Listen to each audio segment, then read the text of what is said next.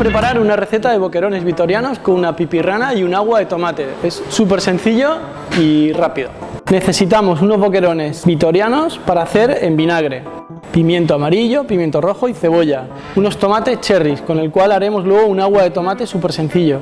Y un poco de pan frito con unos frutos secos. Hemos cogido migas de pan del día anterior, lo hemos frito, lo hemos escurrido bien de aceite y le hemos añadido un poco de frutos secos. Y vamos a poner el pan frito, que es el que nos va a aportar el crocante en el plato. Vamos a hacer un agua de tomate. Hemos cogido una bandejita de tomates que compramos en el mercado, lo hemos triturado muy bien con las manos, con sal y con azúcar y lo hemos dejado la noche anterior en una estameña. Hemos puesto un colador fino, una estameña y hemos dejado eso que hemos machacado y este es el resultado. Hemos cortado un pimiento amarillo, un pimiento rojo y una cebolla embrunada, unos daditos pequeños. Lo vamos a alinear con un poquito de aceite, unas gotitas de aceite un poco de sal.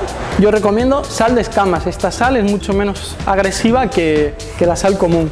Un poquito de sal y no le voy a poner vinagre porque ya lo tiene el boquerón en vinagre. Vamos a remover, ya tenemos el relleno de nuestro bombón. Hemos comprado un boquerón vitoriano, lo hemos metido en vinagre de vino común durante una hora. Luego lo hemos lavado y lo hemos mantenido en aceite de oliva.